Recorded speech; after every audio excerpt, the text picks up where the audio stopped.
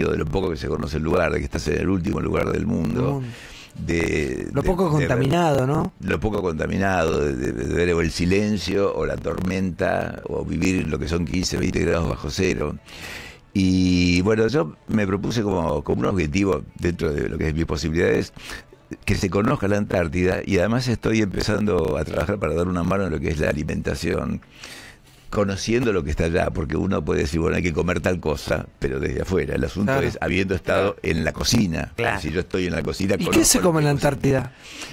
Mucho de, de todo menos lo fresco. Por eso hay un proyecto de, de hidroponía que es ese. Todo en lata debe ser. Eh, es mucho lata. O Claro. sea, se come prácticamente de todo, ¿no? Hay comida, hay unas cuantas comidas que se pueden comer durante todo el día, lo que son eh, desayuno, merienda, pan, eh, tostadas, galletitas, queso.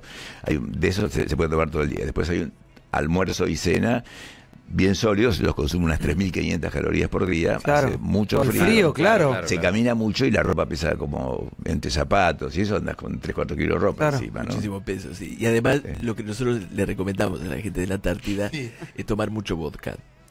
Eh, porque es muy sano. Sí, no, para nada. para nada. Además de una dieta estricta. Y estuve haciendo. Yo quería, quiero mostrar una coreografía del tango La Comparsita, que la estuve grabando, eh, para hacer conocer más la Antártida. ¿Dónde la tiene acá?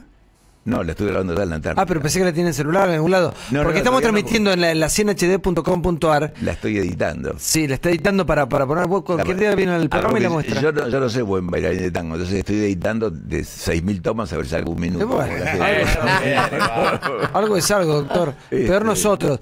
Eh, ahora, ¿cuál es cuál? No, bueno, yo quiero decir que yo soy el verdadero, estoy indignado, Santiago, que haya traído otra persona al estudio y si, si, si quieren podemos hacer la competencia de baile y se van a imaginar quién es el verdadero.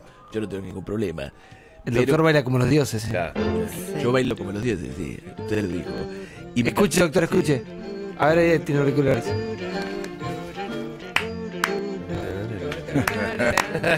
la, la- la voy a hacer este año. Cantando bajo la lluvia, ¿no? Sí, cantando bajo la lluvia, pero en una, en una versión alemana, Max Rabe. Escuchá. Es, es la versión divina.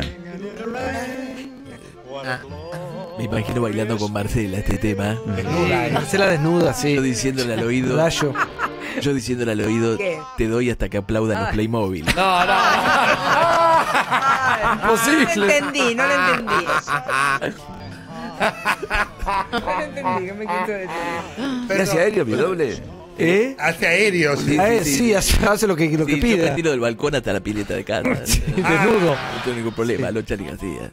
Doctor, gracias, porque lo vino a atender a Maju. A todo esto, ¿qué tiene? Maju, Maju, ¿qué tiene? ¿Está embarazada o no? ¿Está embarazada? Está con un pequeño dolor de, de panza que Gases deben ser. lo vamos a, a seguir. y Ahora le voy a dar mi celu para que me llame al mediodía. A Ahí ver cómo está. anda. Ahí está. ¿viste? Bravo, doctor. Gracias, doctor, por estar con nosotros. La verdad que un capo, una eminencia, un tipo que Bueno, hay que gracias, escuchar y admirar, ¿eh? Gracias. Muchas gracias, doctor. Gracias, chicos. Gracias. Otro aplauso. No está embarazada entonces, eran gases, No eran está embarazada. ¿eh?